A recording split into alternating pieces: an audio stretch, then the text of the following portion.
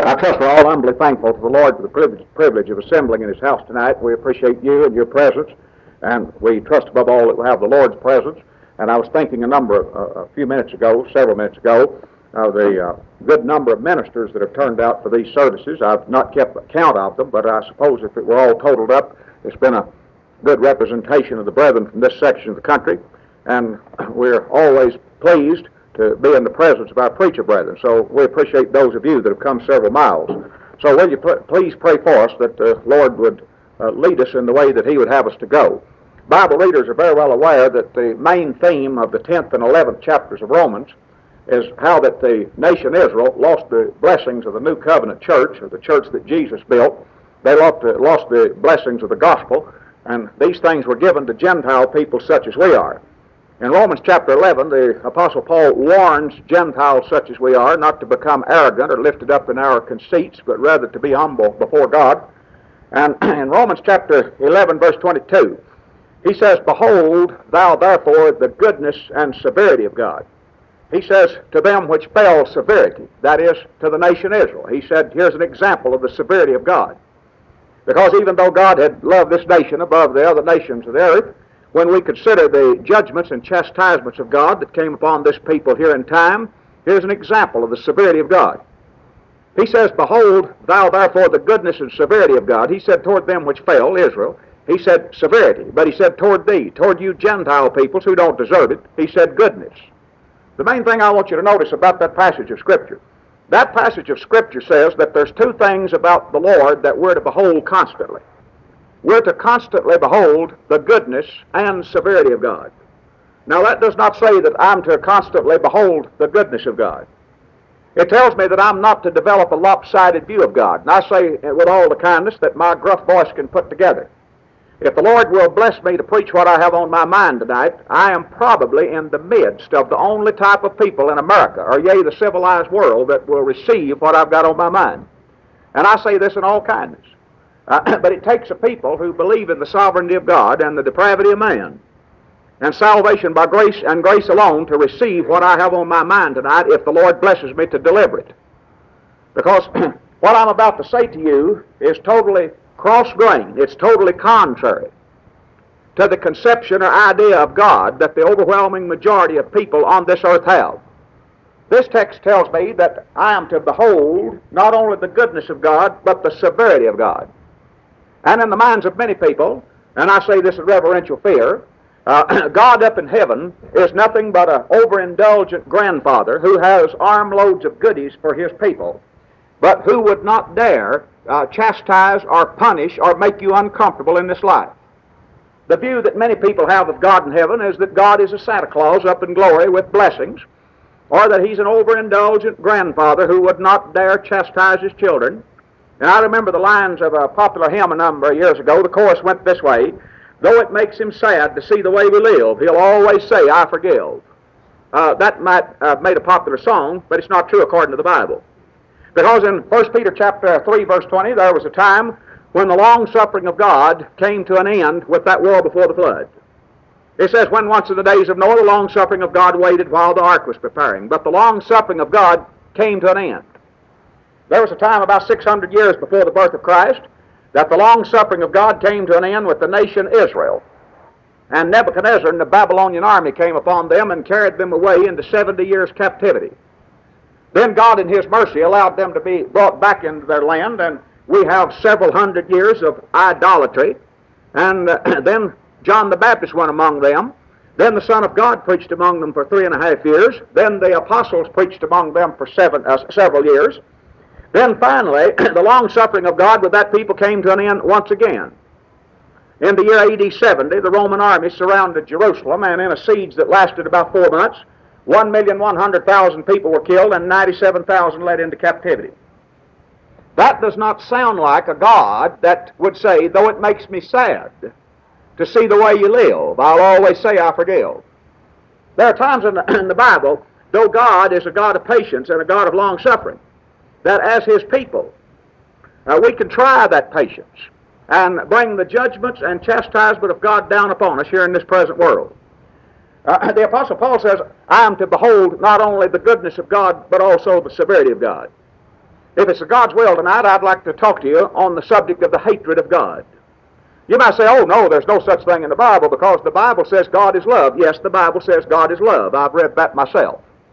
But the same Bible that says that God is love tells us about things in the world that God hates. And uh, God willing, uh, you know, there's a right way to start a nail. You know, you point it in the right direction and pound on it. And sometimes there's a right way and a wrong way to start a subject. So, to start with tonight, uh, I'm going to try to establish, if you'll pray for me and give me your attention, and God will give me the strength, I'm going to establish by the Scriptures that there are things in the world that God hates. And uh, if somehow we can get folks to see that there are things in the world that God hates, then I'm going to try you on something else. if I can get that past you, I'm going to try you on something else. We're going to find that there are doctrines and teachings in the world that God hates. And then if I can get that by you, I'm going to put you to the supreme test, and we'll wait and see what that one is. Uh, the same Bible that says that God is a God of love also teaches that He is a jealous God. It teaches us that He's a God of wrath. And I say this tonight in all the reverential fear that I can possibly muster. You can go back in history. And you can show me, we can talk about what the most wicked and deranged men that have ever lived on earth have done. I mean, talk to me about Genghis Khan. Talk to me about Adolf Hitler and the atrocities of World War II. Uh, let's talk about the Spanish Inquisition.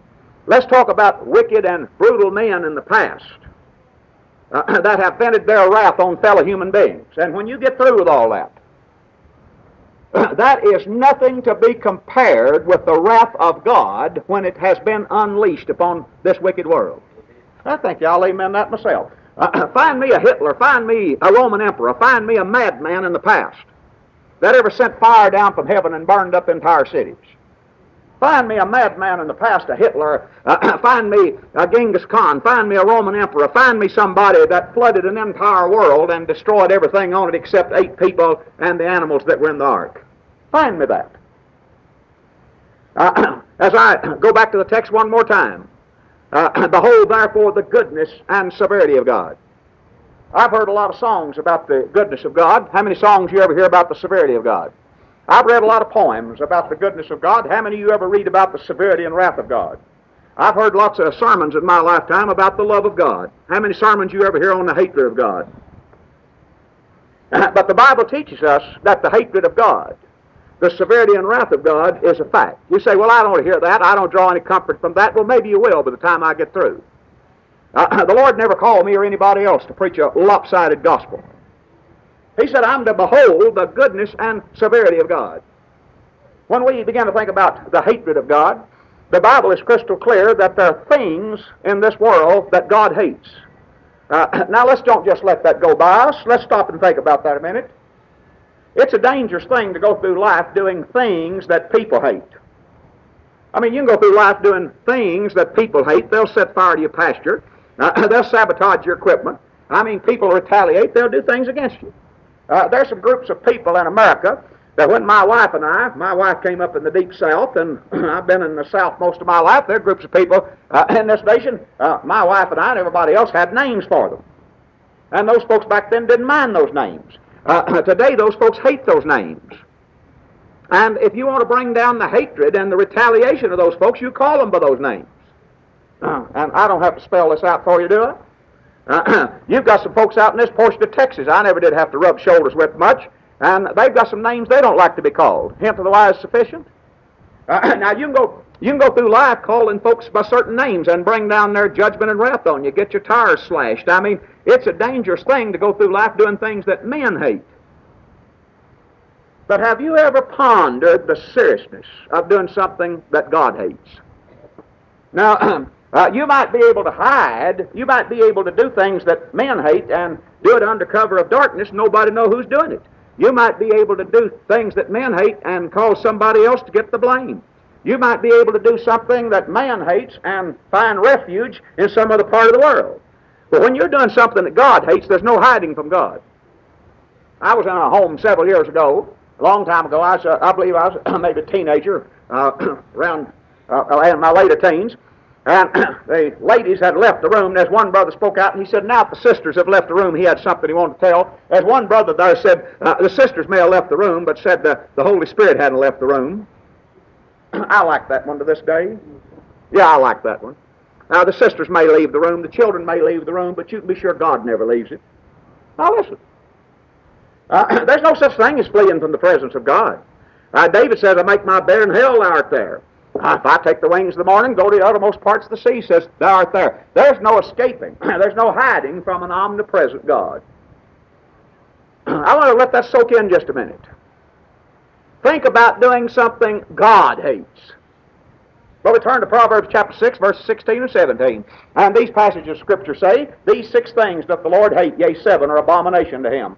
And right at the right at the very top of the list, you say, "Oh well, these are probably things that the unregenerate, non-elect, wicked of this world commit." Oh no, I'm going to prove to you tonight that you're capable of doing every one of them. We start out here, and you know what heads the list?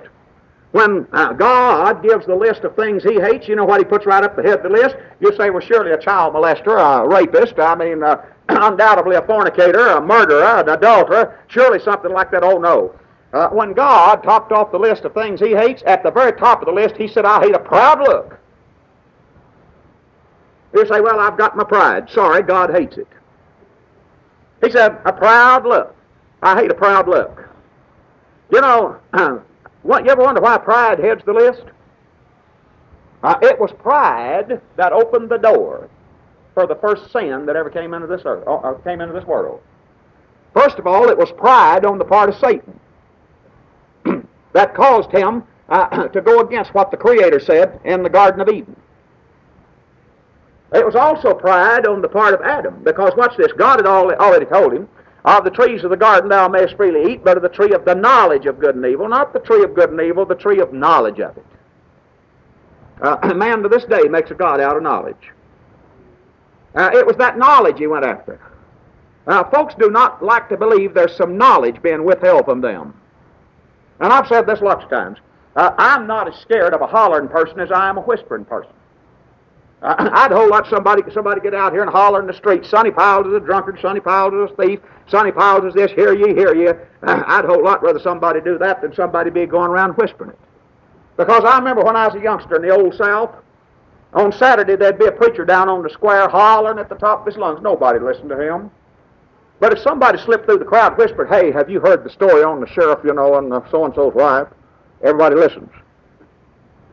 somebody could be out there in the street right now hollering. You don't have to go out and listen to them. Uh, but if somebody starts going through the lunchroom tonight doing this, you got to get in on it. You know why? Because you feel like there's some knowledge being withheld from you. You know what I'm talking about? Sure you do. The guilty looks is on your face. The guilty looks on your face. You're reading me real clear, aren't you? we don't like the idea that something's being withheld from us. We want to be right in the big middle of things. it was pride that caused Adam to sin. It was pride that caused Satan to tempt him. And by the way, while we're on this, we come to 1 Timothy chapter 3, and the Apostle Paul gives a rule over here pertaining to the ordination of ministers that our people are violating right and left all over this country, and we're suffering for it. The Bible plainly tells us that the man we're to ordain is not a novice, that means one newly come to the faith. Not a novice. Why? Lest being lifted up with pride, why, he come into the condemnation of the devil. And I, may I say this? Well, I'm gonna, well, I'm going to say it where I may or not. You throw a rock at me.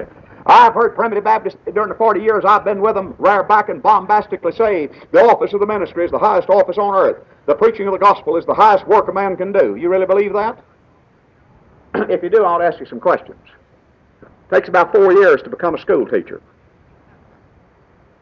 Takes a certain amount of time to be a barber. Takes a certain amount of time to be a mortician. Four years to be a school teacher. Uh, about two or three more to be a lawyer. Add something to that to be a doctor. Uh, takes four years to learn to be a school teacher. I could talk about some other professions, might take a year, two years.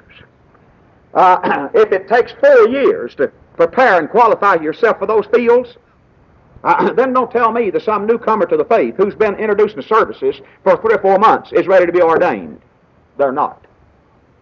You're getting quiet in here. They're not. Thank you. Thank you. Uh, they're not ready. Uh, I don't care how well they can preach. You say, well, we've got a little fellow over here, only belonged to the church three months. he knows more Bible than you do. Maybe that's true. But I'll tell you something. he doesn't know. He doesn't know human nature. he doesn't know old Baptist lingo. Uh, he's not experienced enough to teach God's people. My friends, he says, not a novice, not one newly come to the faith. And I say this tonight in all kindness. When men come to us for, from other orders, their experience from, with other orders does not count. They can sit on the cooling board and prove their gifts just like everybody else. I mean, here's a Primitive Baptist homegrown brother coming up out of the patch. I mean, just an old Primitive Baptist mossback, you know, coming up out of the patch. he proves his gift. Here's a man been preaching for another group. Sir, you can prove your gift. He says, not a novice. Uh, less being lifted up with pride. You know what's going to happen if you take that little fella and you ordain him in a year or two? You know what's going to happen to him? Uh, this goes through his mind. Uh, I haven't belonged to the church but a year or two, and now I'm a church leader. Look how far I have come so fast. And, uh, you know, there's folks out here in the church belong to the church uh, 20 or 30 years, and they're not in the ministry. I've only been a member a year or two, and look where I am. In fact, I could name you one that lately has gotten into a lot of trouble, uh, gotten into lots of trouble. Uh, I was talking to some deacons uh, about, uh, say, 10 months ago, uh, before he got into trouble, literally did this, put his suspenders out and said, and look where I am now. How you like that? That's somebody being lifted up with pride. Somebody being lifted up with pride. This book says God hates a proud look.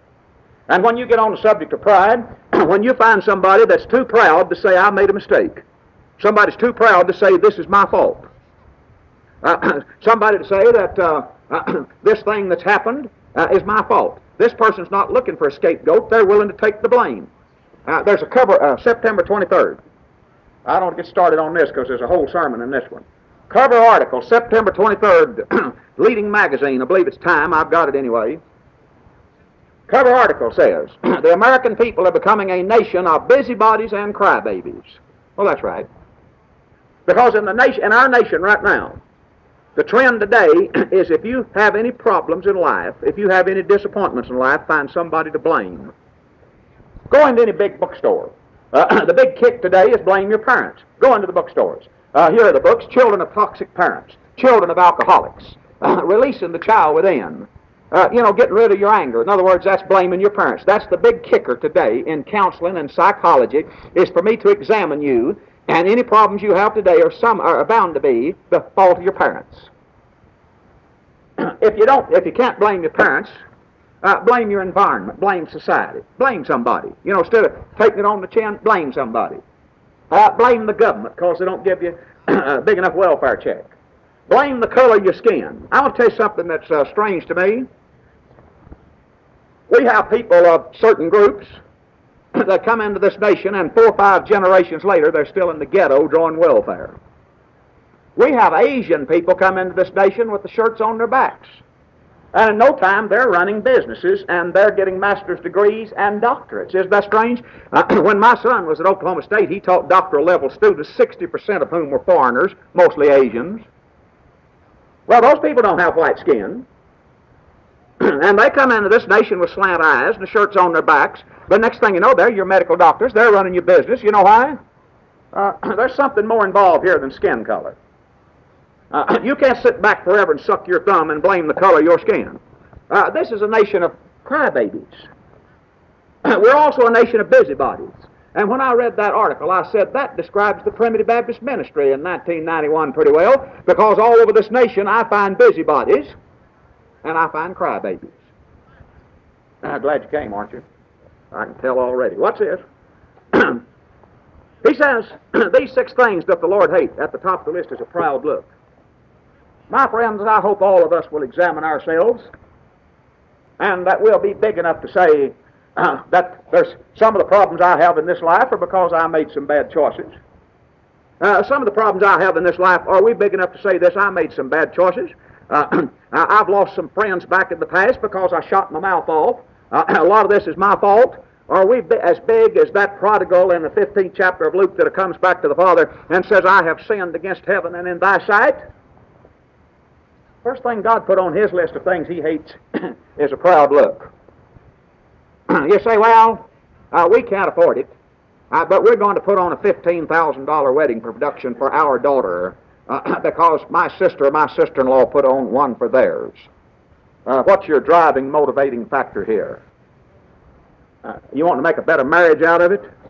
Is that your factor? No, your factor is pride, isn't it? Uh, that's what it is, isn't it? Pride. Uh, that first thing on God's list, He said, I hate a proud look. When you go down that list of things that God hates, He said, I hate a proud look, I hate a lying tongue. And we're living in a nation today where lying is not looked upon as seriously as it used to be. There was a time in this country, you don't have to be old to remember it, when a man's word was his bond.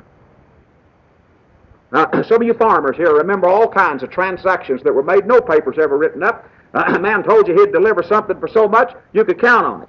Uh, today, you better get it, get it on the dotted line, have plenty of witnesses, and hope. because we're a people today that have been lied to by presidents in the past.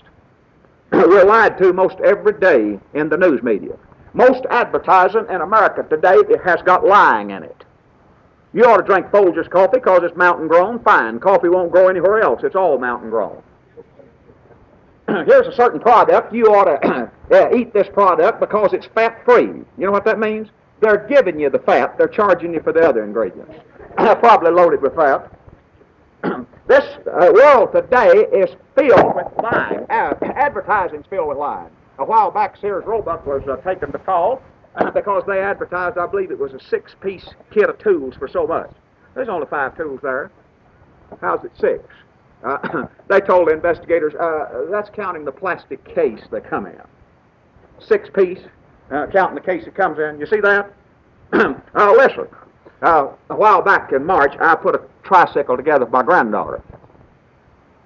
Um, my son-in-law, who's an attorney, sat there and read the warranty.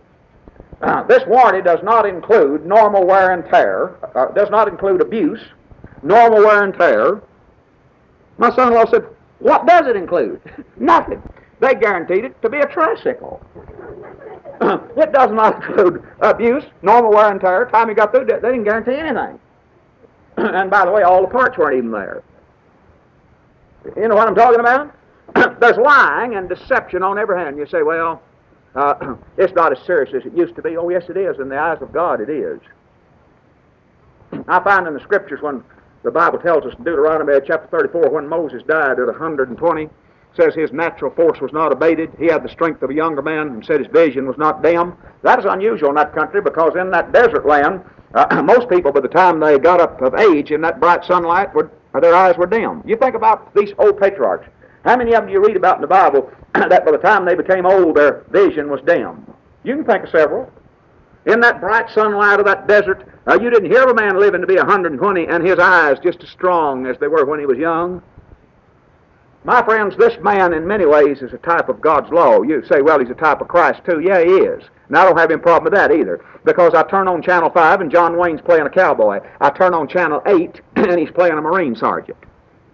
I don't have any problem with that. Moses sometimes is a type of Christ, but sometimes he's a type of, of the law. And you can be sure of this, that God's moral law is just as strong as it was when God gave it. God views that law just as strong as he ever did. Uh, now, uh, our vision is dim.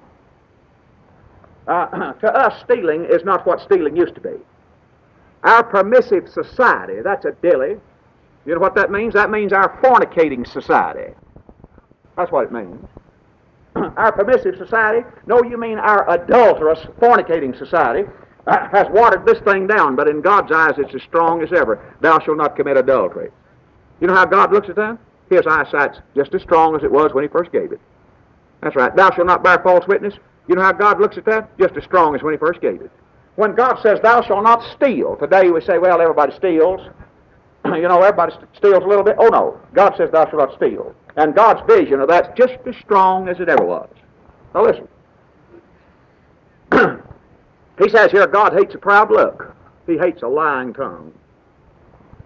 and my friends, we need to consider that, first of all, God's people, we need to listen carefully when something's being said. Listen carefully. The American people living today, according to tests I've seen and surveys I've read, are the poorest listeners that have ever lived in this nation.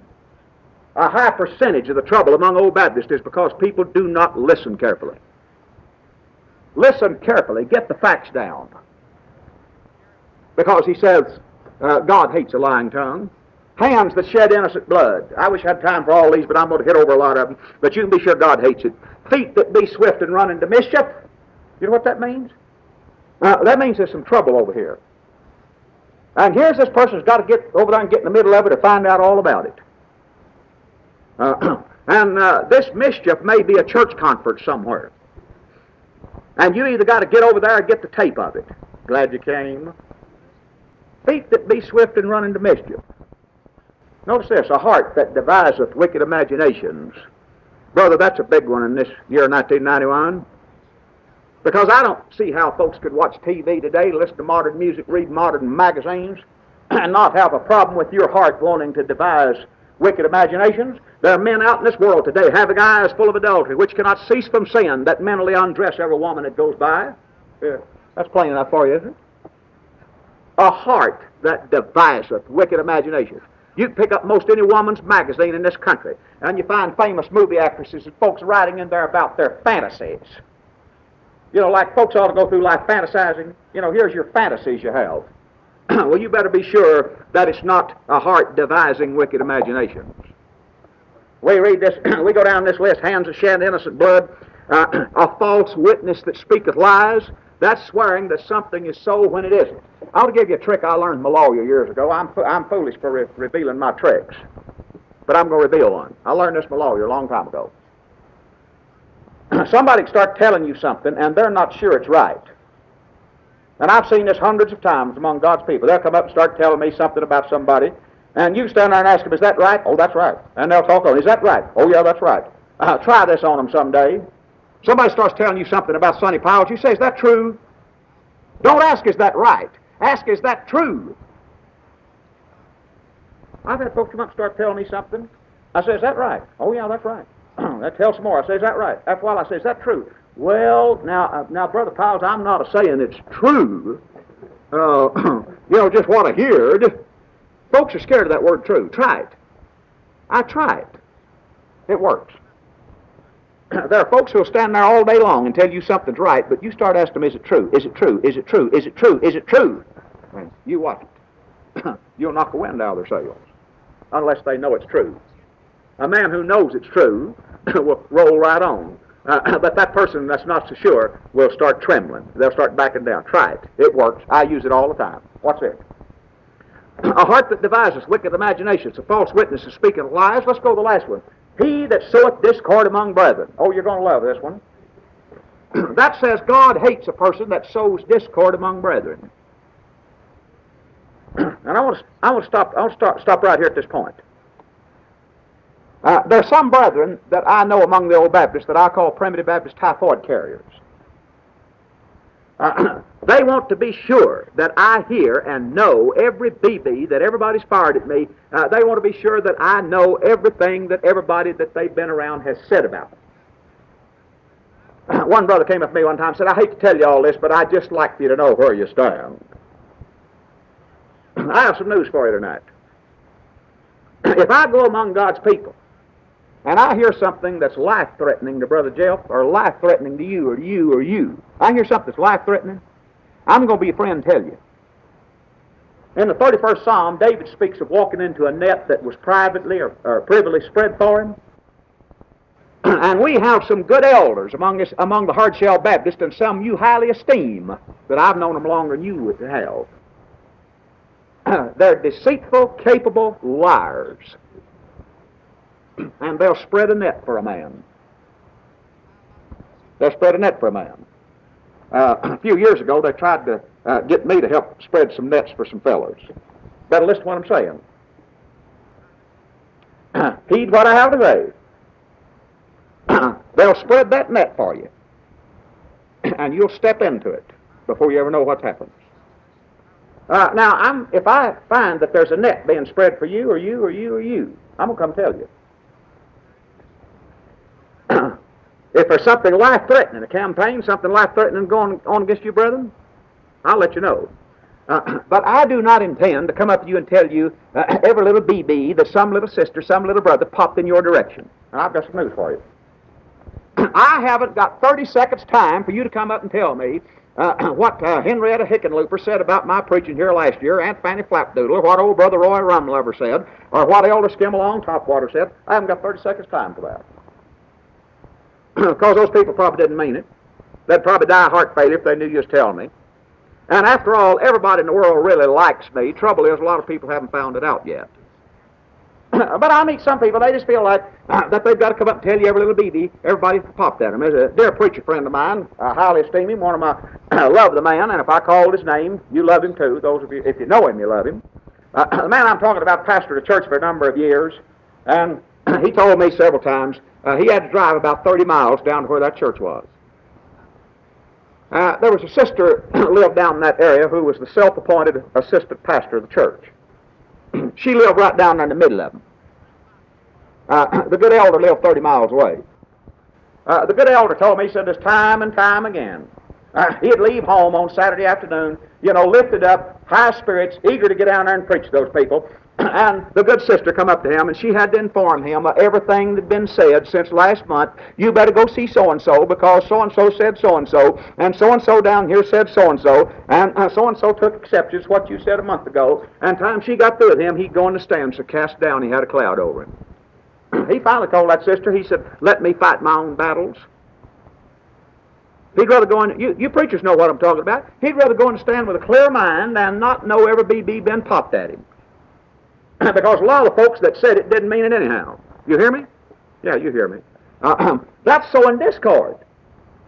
And the Bible hates it. you say, well, we all do it. Sorry, God still hates it.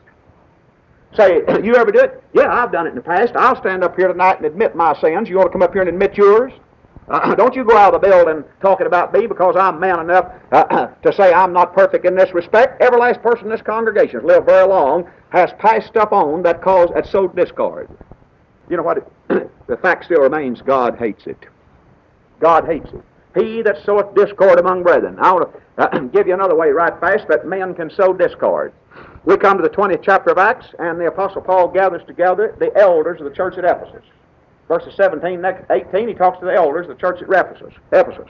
Now, he didn't talk to the reverends, there were none to talk to. he gathers together these elders of the church at Ephesus. And in verse 28, he says, Take heed unto yourselves and to all the flock. Whether the Apostle Paul is talking to one preacher or a group of them, he always tells them to take heed unto themselves before he tells them to take heed unto the flock. You ever notice that? In writing to one preacher, Timothy, 1 Timothy chapter 4, he says, Take heed unto thyself and to the doctrine. Over here he says, Take heed unto yourselves unto all the flock. a man who does not take heed to his own personal life, a man who does not take heed unto the way he lives, is unfit to feed the flock of God. That's right. He's unfit to feed the flock of God. My first responsibility is to take heed unto myself. Uh, the primitive Baptist people deserve clean food from the pulpit, but they deserve it from a clean plate. the Lord has not gotten so desperate for preachers that He's got to call homosexuals and child fondlers and crooks and people like that into the ministry. That's right. I'll amen that myself. He's not that hard up yet. now listen. He tells these elders of the church at Ephesus, he says, Take heed unto yourselves and all the flock over which the Holy Ghost hath made you overseers. Feed the church of God which he hath purchased with his own blood. And what's this? he says, This know also, that after my departing shall grievous wolves enter in among the flock. Grievous wolves. But what's this? Uh, and by the way, these are not grievous wolves out here in the so-called Arminian world. If you say, well, those wolves are out here in the Arminian world, then you're going to have to admit that the Arminian world is the true flock of God. Because the same flock the wolves are coming into is the same flock they're told to feed. He's telling us wolves will get in among us. wolves will get in among us. Did you catch that? Wolves will get in among us. Second Peter, uh, Second Peter chapter one. Uh, the Apostle Peter tells us here that as there were false uh, prophets among the people, there'll be false teachers among you. Out in the so-called Arminian world, among you. See it? Okay, first of all, we've got grievous wolves. Next, he said, also of your own selves. These men aren't grievous wolves, but they're still dangerous. Also of your own selves shall men arise speaking perverse things. Uh, these are men of our own selves, but they arise speaking perverse things. What's their motive? To draw away disciples after them. Uh, here's a man that comes up with something new. You know what his purpose is? so that people will think his thinking is deep in that subject. He's a specialist in that subject and build a following. These men will arise speaking perverse things. You know what a pervert is? that's somebody that's different from that which is normal and accepted. you know what perverse things are? Here's the normal, accepted doctrine of the old Baptist that's been tried and true through the centuries. It's tested and true through the centuries. Here's a man comes up preaching something contrary to that. That's a perverse thing. Now then, listen to me carefully at this point. A number of years ago, when I was very young, I was in the company of Patrick Henry Byrd, P.H. Byrd of State of uh, uh, Twin City, Georgia.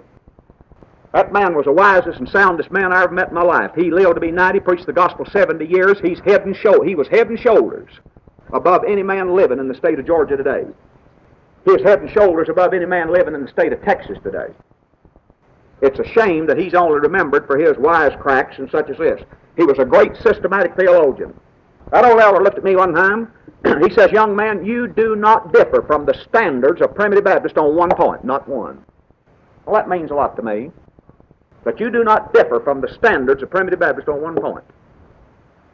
He said, A man should think seriously. He should think carefully before he goes against what the standards of our people have taught for generations. He went on to say, He said, I do not mean your local ministers. They may be wrong. He said, I don't, I don't mean the ministers of your day and age.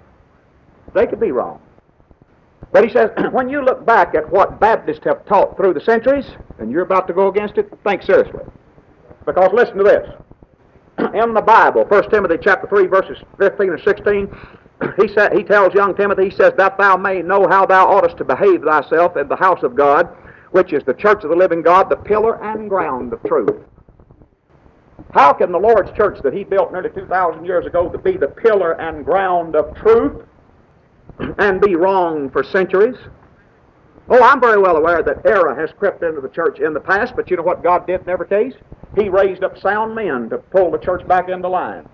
Uh, in every century that the church has been on this earth, I could find some error of some kind, but you know what I also find? I find sound men being raised up to pull God's people back from those extremes. How can the Lord, how can the church be the pillar and ground of truth and be consistently wrong on something?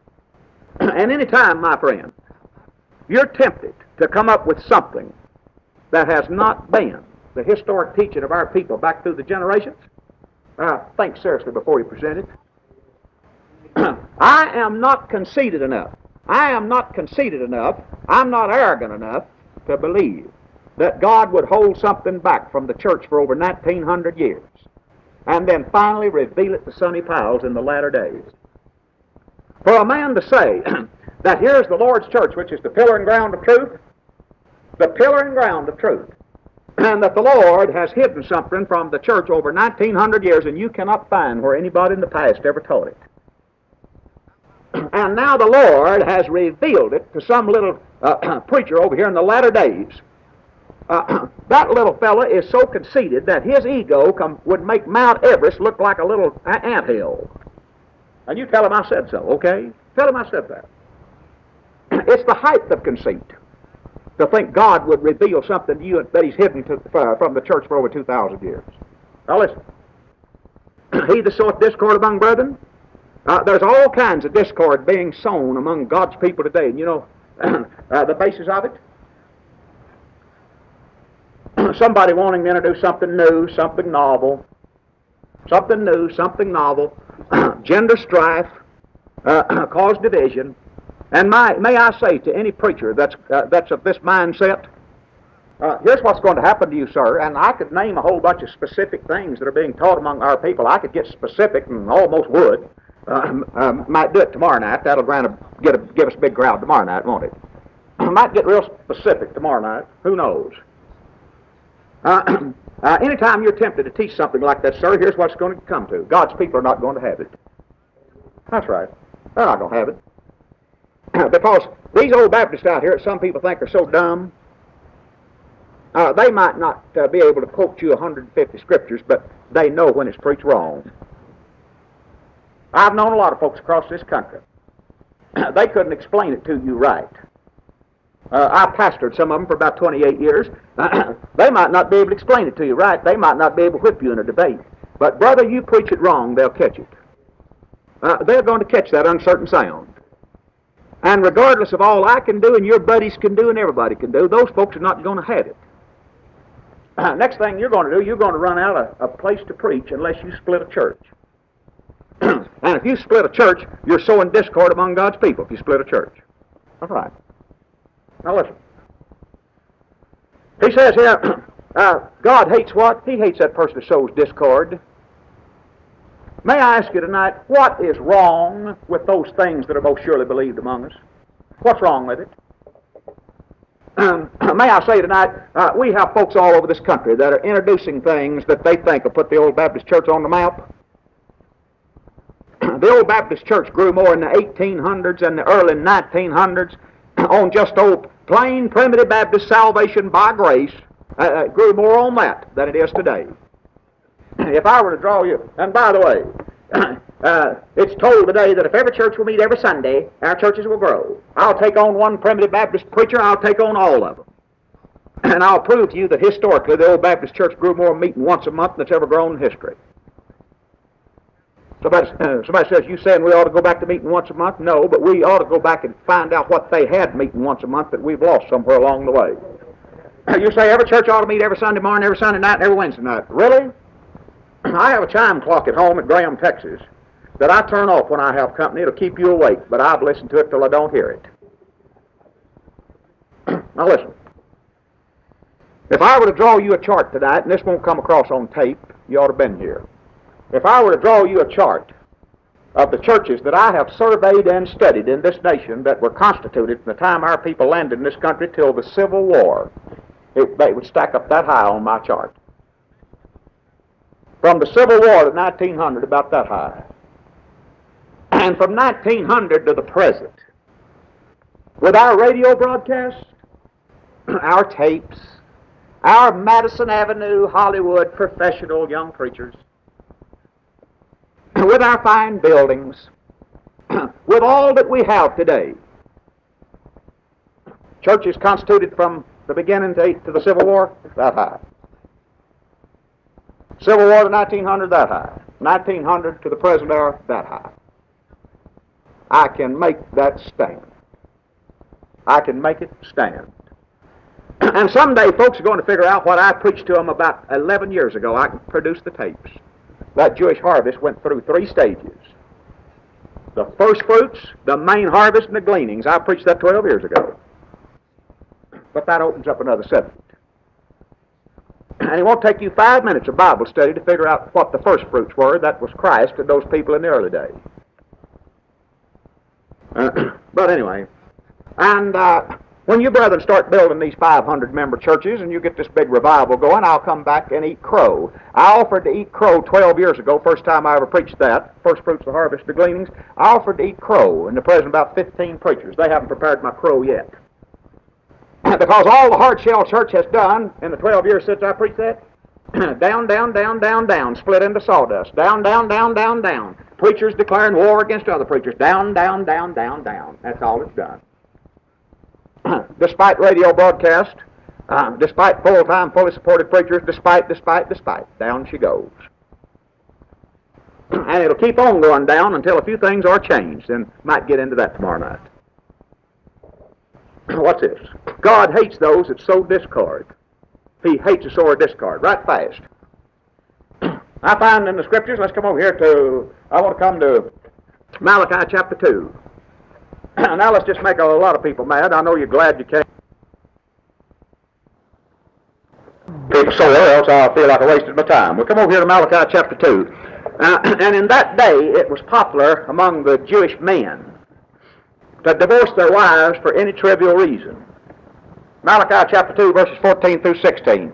Uh, he begins to warn them about uh, the wife of their youth and forsaking that covenant. That's the marriage covenant. That's not God's everlasting covenant. That's the marriage covenant. Look at that context. he tells that old Jew, you've dealt treacherously with the wife of your youth. Uh, he tells that old Jew in Malachi 2.16, the Lord hateth putting away. That says the Lord hates divorce. You ready for that? Okay, we're talking tonight about things God hates, first of all. Things God hates. We come to the 19th chapter of Matthew, and while the Lord was preaching on this earth, there were two main schools of thought among the Jews pertaining to divorce. Uh, there were two powerful rabbis among the Jews. One was Rabbi Hillel. He taught a lot of folks. There was Rabbi Shammai. And both of them had quite a few students. One of these rabbis uh, held to the very loose view. He was very liberal.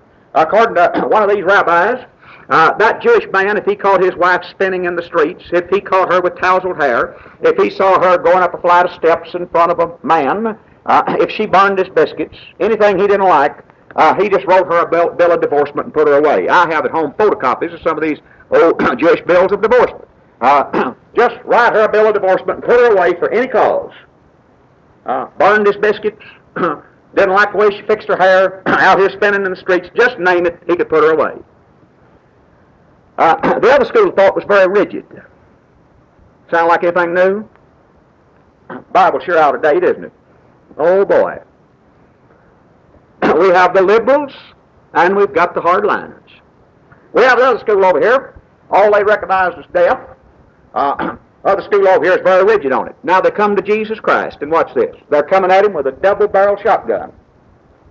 Uh, if he answers this way, uh, he'll make Shammai's uh, uh, disciples angry.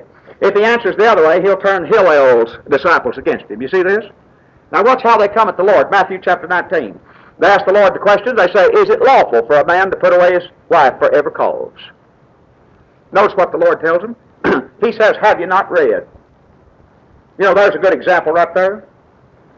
Uh, when you find old Baptists fussing and having a controversy over something, you know the best thing to do? Put them, put them to reading. You know, did you catch that? He said, Have you not read? You know what he told them to do? You need to read more. And usually when you find people out here, uh, they're fussing and carrying on, uh, somebody quit reading. At least going back reading what God said to put you in a more humble mood, put you in a more spiritual frame of mind. Uh, he says, Have you not read how that God at the beginning made them male and female? He sends us right back to the book of Genesis. He made them male and female, and God said, What God had joined together, let not man put asunder. Uh, did you notice that in the first family God put on earth, God made no provision for divorce? Did you ever notice that? He didn't say anything about it. he joined them together. And uh, I hate to use this word, but it seems that the presupposition or the assumption is they're going to stay together. God made no provision for their divorce. He says God at the beginning made the male and female. God said, What God hath joined together, let not man put asunder. Now listen to them.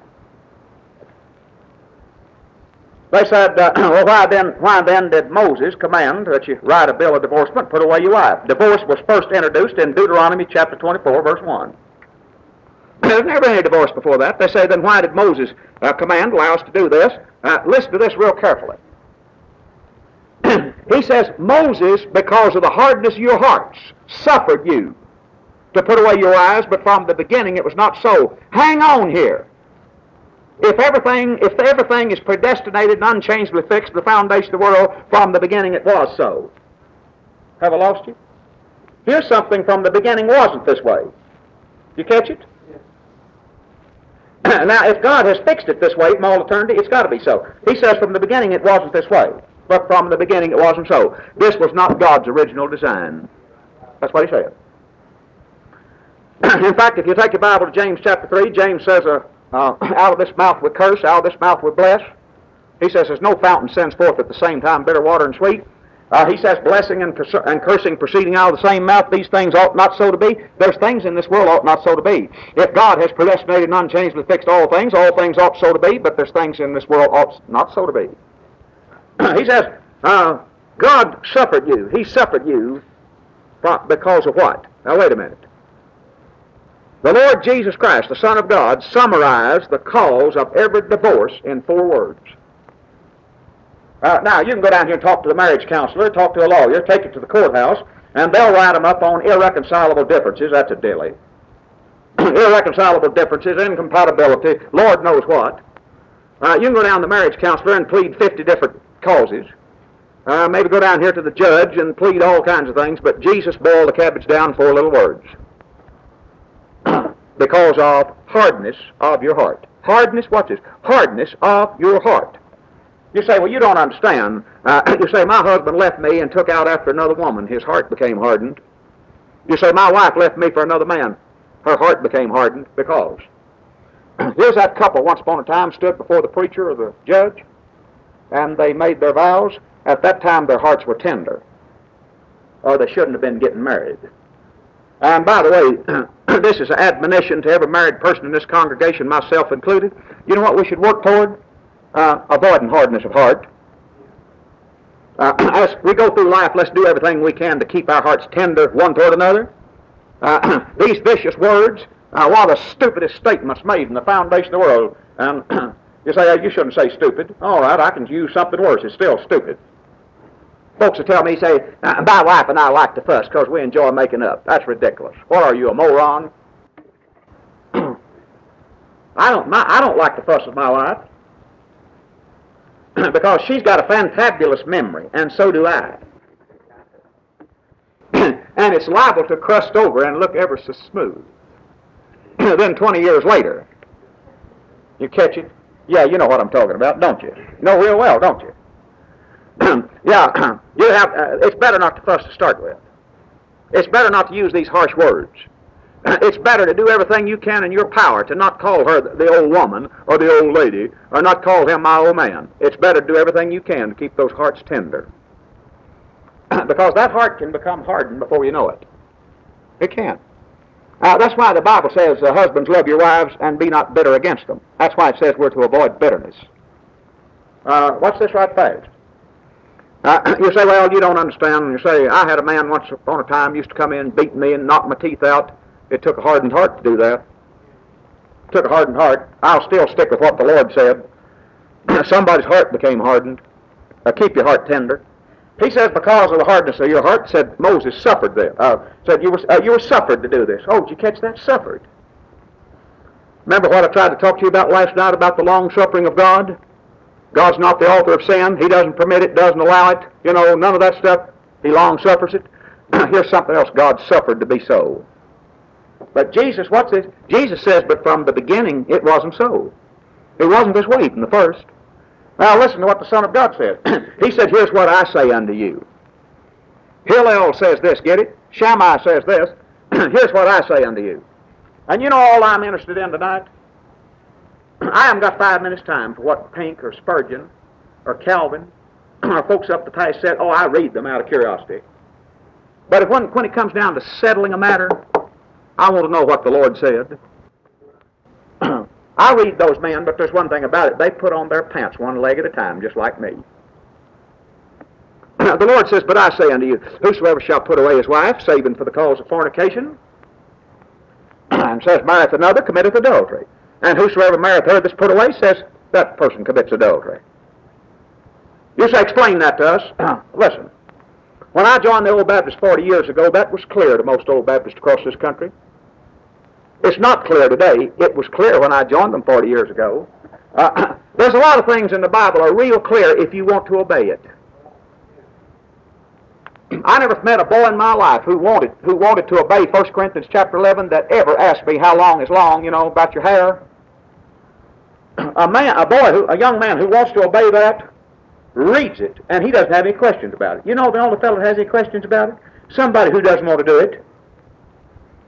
Any God fearing woman tonight can read God's Bible and find out what the woman's place in the home is and the woman's place in the church. And my mother never had any questions about it. My wife's mother never had any questions about it. I could name you a lot of old Baptist sisters across this nation never did ask a preacher a question about the woman's place in the home or the woman's place in the church. because if you read the Bible wanting to obey it, it's clear. you know the only people have questions about it? it's the little she-bulls that don't want to obey it. That's right. It's amazing at things in the Bible that are crystal clear if you want to obey it.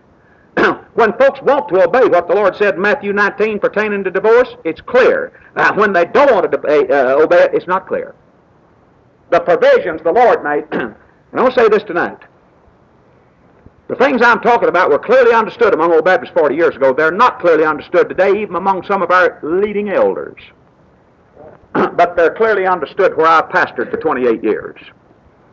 And while I'm on this subject, uh, in God's Bible, you find that the Lord gave this cause for breaking up this union, death, which is common to all. Roman, uh, first, if you want more information, 1 Corinthians chapter 7, Romans chapter 7, verses 3 and 4. Uh, marriage ends in death. You don't have to explain that to intelligent people. the other cause is right here. Matthew 19. Uh, while I'm at this point, I want, I want to throw something else at you. The Bible says in the fifth chapter of Ephesians that there are, there are people who have no inheritance in the kingdom of God and of Christ. Go over there and read about them. Fornicators, unclean, covetousness, says they don't have an inheritance in the kingdom of God and of Christ. Uh, you make that the eternal glory world, and you've got all kinds of problems. But there are people that the Bible says have no inheritance in the Lord's kingdom here. They don't have an inheritance. Listen to me. I preached this to folks all over the country, and I preached it in the pulpit of my home church for 28 years. Anytime you take somebody that the Bible says has no inheritance, and you're going to force an inheritance on them, you're going to make an inheritance some way. Some way, somehow, uh, you're going to fix an inheritance in God's kingdom for that person. Remember what I'm saying tonight, and may it haunt you. When somebody has, when the Bible says they have no inheritance, you're going to give them an inheritance anyway, that person will eventually give you trouble you'll eventually have trouble with them. You give an inheritance to a fornicator that the Bible says has no inheritance, you'll have trouble with that person. Uh, you may not have to deal with that person down the line because of fornication, but you'll have to deal with them for railing or sedition or something. Uh, there's a preacher excluded monk from our people a number of years ago. he was excluded from our people a number of years ago and ought to have stayed excluded because he wrote himself a one-way ticket to the end of the line. but there were some folks made the arrangements to get him back in. God's people have had to deal with it. Not on that thing. You know why? Uh, in the years that he's been back among God's people, he's tormented God's people on a doctrinal point. Tormented them on a doctrinal point. From what I hear, finally folks have had to fish or cut bait. You know what happened there? Here was somebody had no inheritance. And so people decided we're going to give him one anyway. and folks have had nothing but 36 years of trouble out of it. And who it is doesn't matter. It's the principle I'm trying to advocate. It's the principle I'm trying to get across to you. All right, what's this? We find that the book says, you say, well, uh, you're hurting my feelings because I've been divorced. Uh, you're hurting my feelings because my daughter's been divorced. Well, I've never been divorced, and my daughter hasn't been divorced. At least none of us, none of us yet. but there's one thing I want you to understand. If I ever get a divorce, God forbid, and if my daughter ever gets a divorce, God forbid, or your daughter ever gets a divorce, God still hates it. Sorry, that's the way it is. this is something God suffered. You say, well, this hurts my feelings because I've got a lot of divorced people in my family. if I wind up with a lot of them in my family, God still hates it. It's not God's way. If you're married, stay married. And if you're not married, think seriously before you get into it. Read 1 Corinthians chapter 7 about 85 times before you get married. Now listen. Uh, there are doctrines in the world God hates. You say, oh, that can't be true. Uh, we're living in a day where people are broad-minded, they're tolerant. Uh, there's doctrines in the world God hates. Oh, yeah, there are. Revelation chapter 2, verse 6, here's the people over here that the Lord praises this church at Ephesus because they hate the deeds of Nicolaitans uh, drop down to verse 15, he says, You have them that there that hold the doctrine of the Nicolaitans, which thing I also hate. Someone might say, Well, that, uh, that's kind of hard uh, because, uh, you know, it doesn't matter what you believe, long as you're sincere. It doesn't matter what you believe, you know, God loves all of it. David says in the 119th Psalm, verse 104, David says, uh, Through thy precepts I get understanding. David says, I hate every false way. You say, Well, I don't hate error. I don't hate, you know, heresy. Uh, David did. he said, I hate every false way. There were also people in this world David hated. Uh, David uh, says in Psalms 139, verses 20 and 21, he says, Do not I hate them, O Lord, that hate thee? You say, well, God's people shouldn't go through the world hating. David says, Do not I hate them, O Lord, that hate thee? Said, I hate them with perfect hatred. You say, well, preachers are supposed to love all kinds of men. Not so. Uh, you turn over here to the qualifications of the ministry, and it says that that bishop or elder must be a lover of good men. It didn't say he's got to be a lover of wicked men. It says he must be a lover of good men. People get some strange ideas, don't they? Now then, uh, we come over here to the 15th chapter of Matthew, and Jesus said to those people, says, This people draws nigh unto me of their mouths, said they honor me of their lips, but they said their heart is far from me. In vain they do worship me. Why? Teaching for doctrines the commandments of men. Here's vain worship. Uh, you'll find in the 17th chapter of Acts ignorant worship. Remember Mars Hill? The Apostle Paul points to that altar to the unknown God. and told those Greeks, says you've got an altar to the unknown God whom you therefore ignorantly worship. You want to worship God in ignorance? I don't. You want to worship God in vain? Then we come to John chapter 4, the woman of the well at Samaria.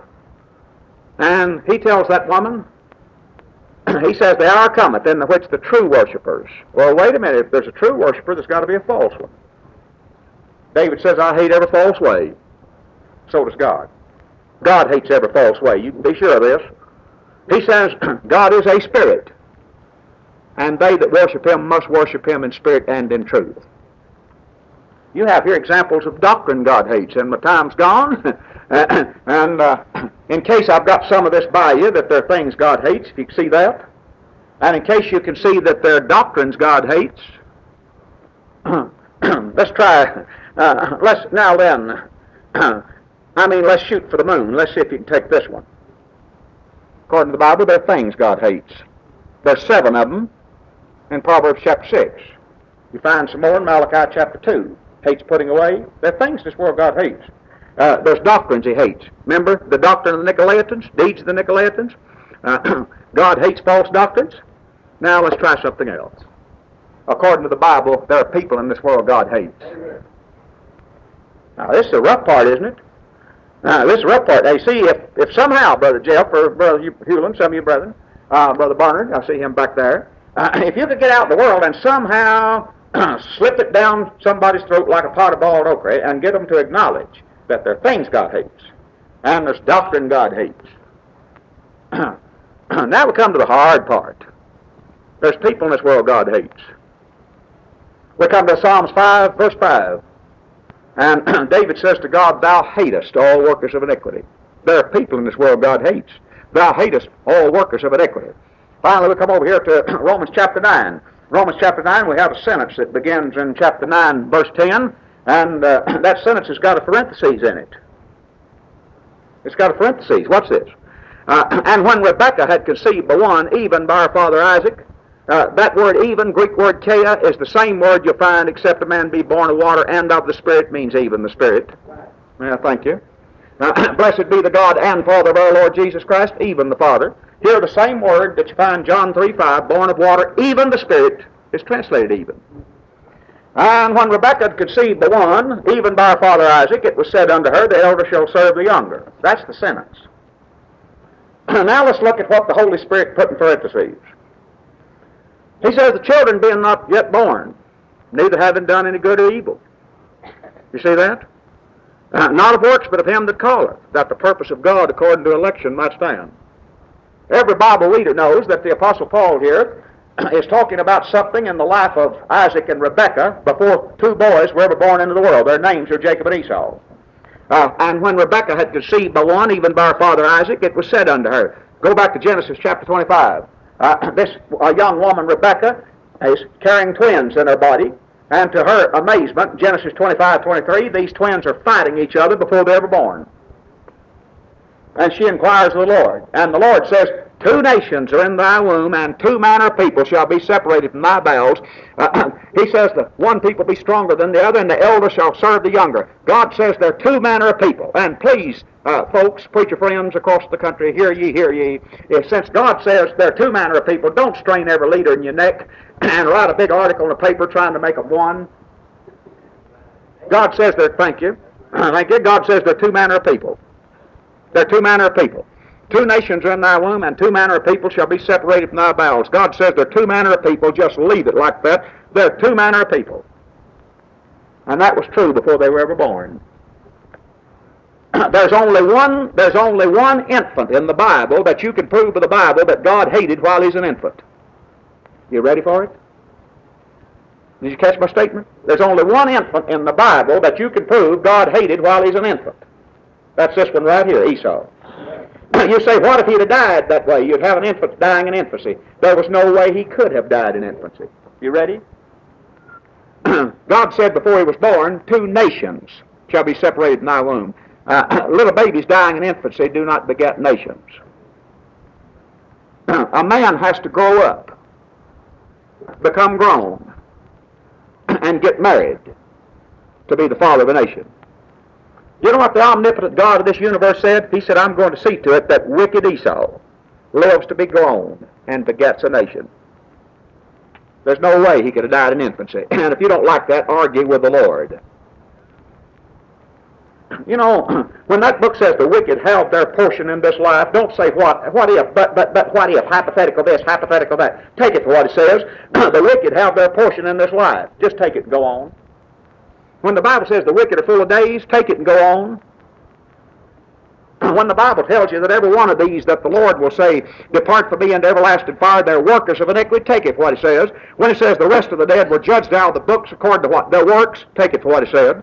Uh, when the Bible says God endured with much long suffering the vessels of wrath fitted to destruction, uh, a baby that dies stillborn, a little baby dies in infancy, a mentally retarded person is not somebody God endured with much long suffering. That's right. Think about it. Think about it. a baby dying in infancy, a little mentally handicapped person is not somebody God's endured with much long suffering. And every person that'll be cast into hell will be somebody God endured with much long suffering. you say, well, but, but, but, but, what if, what if, what if, what if? I haven't got time for your buts and what ifs. Take what God's book said and let's go on. You know what's one thing wrong with our people today? We're spending too much time with buts, buts, buts, and what ifs. Just take what the book says and let's move. Now listen. They're fighting each other before they're ever born. Now let's look at the summary. After saying, and when Rebekah conceived one, even by her father Isaac, it was said unto her, the elder shall serve the younger. The summary is, Jacob have I loved, but Esau have I hated. Now watch this, and this is real important. I know it's getting late, but I want you to catch this if you don't catch another thing I say tonight. In Romans chapter 9, 1 Corinthians chapter 15, the Apostle Paul is using a type of teaching that's one of the most effective ways to teach people.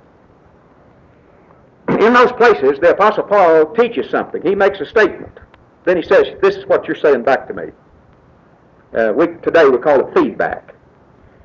The Apostle Paul says, But some man will say, How are the dead raised up, and with what body do they come? Uh, he anticipates, mind reads, what your objection is going to be and answers it. The Apostle Paul is teaching this way. He says, I said this, here's what you're saying back to me. Now listen very carefully. After the Apostle Paul said, Jacob have I loved and Esau have I hated, he tells you what type of response you're supposed to get when you teach that. And I say to any primitive Baptist preacher on earth, if what you're teaching on Romans 9.13 is not producing the response that the Apostle Paul says is supposed to, you're all wet and off base. Now let's try a few things. Some folks say, well, when he says he hated Esau, didn't mean he hated him, just meant he loved him less. When you get out here and teach Jacob have I loved and Esau have, but Esau have I hated like you're supposed to, you're going to get this response. The Apostle Paul says, but what shall we say then?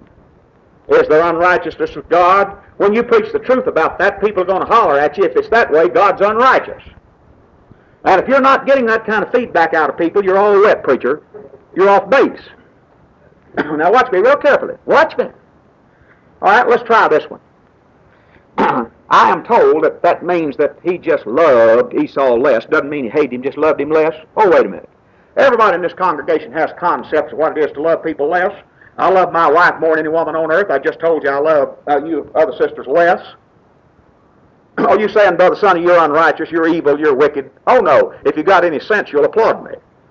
because, uh, I don't mean out loud, but I mean in your minds.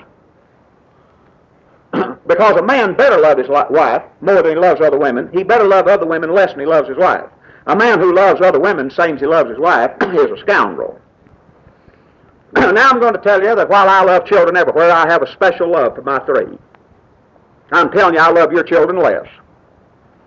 Are you saying you're unrighteous, you're a low-down scoundrel? No, no. You expected it. Because the Bible says, He that provideth not for his own, especially they of his own house, hath denied the faith, he's worse than an infidel. That says I'm supposed to have a love for my own, you're supposed to have a love for him, and however many of these over here belong to you that you don't have for other children. I'll go further than that. I have a love for my granddaughter I don't have for any other grandkid on earth. And you're not saying, why, you're unrighteous, you're mean and wicked. You expected that out of me, didn't you? I'd be a bomb granddaddy if I didn't. And just because I'm admitting to being a granddaddy, I'm not a senior citizen. I will never be a senior citizen. I'm a recycled teenager, and don't you ever forget it. now listen to me. you say, well, let's see now. Uh, that uh, doesn't mean that he hated one and loved the other, but uh, some people say that, uh, and I'm going to have a hard time with this one. this theory, uh, this theory is so much nonsense that I can't explain it in a sensible way. I, it's hard to make sense out of nonsense, but let me see if I can remember how this one goes. Uh, that doesn't mean he loved Jacob and hated Esau, but it means that uh, Jacob represents the flesh and Esau represents the. No, I got it backwards. How's it go? Uh, it, doesn't make any sense. Uh, Jacob represents the spirit and Esau represents the flesh. Uh, that he just hates the flesh. you keep on with that, and you'll deny the resurrection of the body. Uh, Jesus is going to resurrect your flesh someday, and he's not going to resurrect something he hates. And he died to redeem you, soul, body, and spirit. Well, none of these explanations, none of these explanations, you know, one's the spirit and the other's the flesh, and uh, the explanation that hate means love less, none of these is going to cause folks to holler back at you, well, if it's that way, Brother Pyles, God is unrighteous. But I'll tell you something that'll bring that uh, down on you. you preach it this way, and folks will start hollering, God's unrighteous, He's unfair. Uh, you get up and tell folks uh, that Jacob have I loved, but Esau have I hated, means God, means God loved uh, Jacob, and it means he hated Esau. And when you explain it that way, you'll get the feedback that the Apostle Paul says you're supposed to. What shall we say then? Is there unrighteousness with God? That's the only explanation to that text that'll get that feedback. Okay, we come to the 12th chapter of Hebrews, and the Bible over here says, Lest there be any fornicator, any profane person, such as Esau. He's called there a profane person. In the Bible, that means more than a cusser. you know what profane the Bible means? Leviticus, uh, no, uh, pardon, Ezekiel, Ezekiel, Ezekiel, chapter 22, verse 26. Or Leviticus 10, 10, but let's go to, let's take Ezekiel 22, verse 26. God is about to reprimand, he's condemning the priest of Israel because they put no difference between the clean and the unclean. Excuse me. He said they put no difference between the holy and the profane. You know what the word profane means in the Bible? It means the opposite of holy. That's what it means. Everything that holy is, profane ain't. Say, don't use ain't in the pulpit, still ain't. Whatever holy means, profane means the opposite. The word holy means belonging to the Lord. You know what profane means? It means the opposite. All right, very well. Malachi chapter 1, verses 3 and 4. we find over here Esau, Edom, are a people against whom the Lord hath indignation forever. That's a long time in my book. Long time in my book. Now listen. Uh, I've got to close out. I've taken more time here tonight than I've taken in a long time, but I don't charge overtime. But uh, I'm gone this long, long time. I've been shortening my sermons lately, and folks have been saying, you know, over the hill, tired, and all that. Well, I'll let you know there's life in the old boy yet. maybe I, maybe I'm just doing this to show them, you know. Well, anyway. now then, what's this? In summary tonight, when I think about the severity of God, the hatred of God, uh, I'm not preaching on this tonight, or trying to preach on it at least, uh, because I'm some kind of sadistic person, or because I enjoy things like this. I enjoy thinking about the love of God as much as you do. But the Bible tells me not to be lopsided. The Bible tells me that I'm to respect God. I'm to respect His name. The Bible tells me there's things over here that God hates. Six things He hates, yea, seven are abomination unto Him. what humbles me tonight and fills my heart with fear, I look at that list of things and I'm capable of committing them.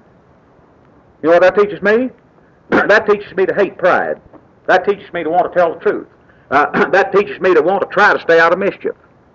Uh, that teaches me not to bear false witness. That teaches me to try to refrain from sowing discard, regardless of how much we may have done so in the past. Refrain from sowing discard. When I find that God hates putting away, that teaches me to keep a tender heart and remember the vow I took toward a little girl about 34 and a half years ago. It also reminds me to teach the young people in my home church and wherever I go the seriousness of that union because God hates putting away. And when I come to the point that's hard to accept that there are people in this world God hates, you say, I don't understand that. That's a mystery. I've got a bigger mystery. The bigger mystery is that God loved Jacob. And I've seen evidence in my life God loves me, and that's a whopper of a mystery. That's a real one. May we walk in reverential fear of the great, uh, just, and holy God of this universe, and thank you for your patience, and may God richly bless you. Well, let's uh, Brother Johnson to close the meeting out. Come here, brother.